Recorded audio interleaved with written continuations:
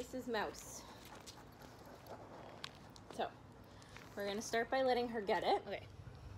Get it. Oh, get it. Get it. Get it. Okay, so now we're gonna build some impulse control into it. So, yes, get it. So as soon as she disengages from it, get it. That's when we're going to reward her. So, she's quite seasoned at mouse. We do it a lot. Get it. Okay. So I just keep throwing the food away to disengage her here. So that's mouse. Uh, with mouse, you can start asking for things. So you can do, get it, and then do down. Yes, get it. Good job.